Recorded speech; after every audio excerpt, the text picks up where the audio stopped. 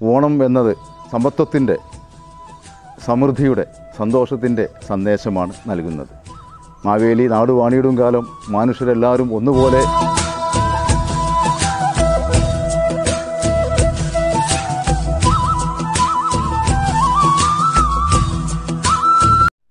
പ്രിയപ്പെട്ട രക്ഷിതാക്കൾ വിദ്യാർത്ഥി വിദ്യാർത്ഥിനികളെ നമ്മുടെ ആഘോഷങ്ങളെല്ലാം വിഷു ആകട്ടെ പെരുന്നാളാകട്ടെ ഓണമാവട്ടെ. എല്ലാം ആഘോഷങ്ങളില്ലാതെ ആഘോഷിക്കേണ്ട ഒരു സാഹചര്യത്തിലാണ് നമ്മളിപ്പോൾ ഉള്ളത്. ഓണം കേരളീയനെ സംബന്ധിച്ചിടത്തോളം ഒരിക്കലും മാറ്റിവെക്കാൻ പറ്റാത്ത ഒരാഘോഷമാണ്.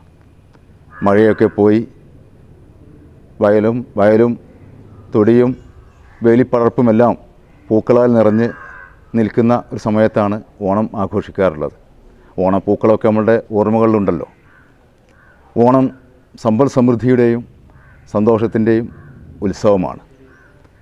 നമ്മുടെ നാട് വാണിരുന്ന മാവേലി തമ്പുരാൻ തന്റെ പ്രജകളെ കാണാൻ ആണ്ടോടാണ്ട് സന്ദർശിക്കുന്ന വേളയിൽ അദ്ദേഹം നമ്മുടെ നാട് സന്ദർശിക്കുന്നു എന്ന സങ്കല്പത്തിൽ അദ്ദേഹത്തിനെ സ്വീകരിക്കുന്ന ഒരു ആഘോഷം കൂടിയാണ് ഓണാഘോഷം.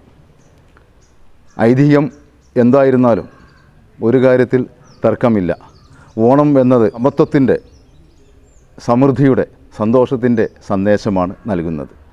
മാവേലി നാട് വാണിയിടും കാലം മനുഷ്യരെല്ലാവരും ഒന്നുപോലെ എന്ന് പറയുമ്പോൾ ഒരു രാജാവിന്റെ കീഴിൽ അയാൾ അദ്ദേഹത്തിന്റെ പ്രജകൾ അനുഭവിച്ചിരുന്ന സമത്വമാണ് അതിൽ നിന്ന് നമുക്ക് മനസ്സിലാക്കാൻ കഴിയുന്നത്. പ്രജാക്ഷേമ തൽപരനും നീതിമാനുമായിരുന്ന മാവേലി രാജാവിന്റെ മാവേലി തമ്പുരാന്റെ സ്മരണ ആണ്ടോടാണ്ട് പുതുക്കുന്ന ഈ വേളയിൽ. ഓണത്തിന് ഒരുപാട് വിശേഷണങ്ങളുണ്ട്.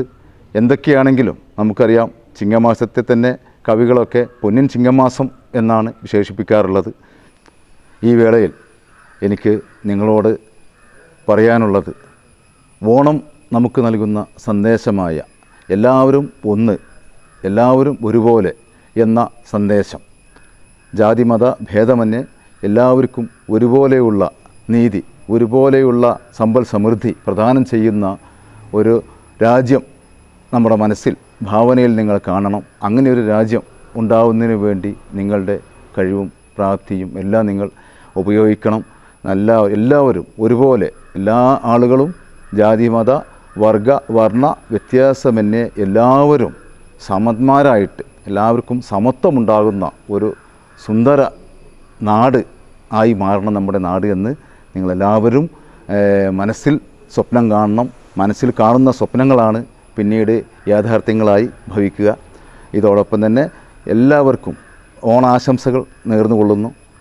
വരും വർഷത്തിൽ നമുക്ക് ഇതുപോലെയല്ലാതെ നമ്മൾ നേരത്തെ ആഘോഷിച്ചിരുന്ന പോലെ നല്ല സ്വാതന്ത്ര്യത്തോടു കൂടി എല്ലാവിധ ആഘോഷങ്ങളോടു കൂടി ഓണം ആഘോഷിക്കാനുള്ള ഒരവസരം ദൈവം നമുക്ക് നൽകട്ടെ എന്ന് പ്രാർത്ഥിക്കുകയും ചെയ്യുന്നു.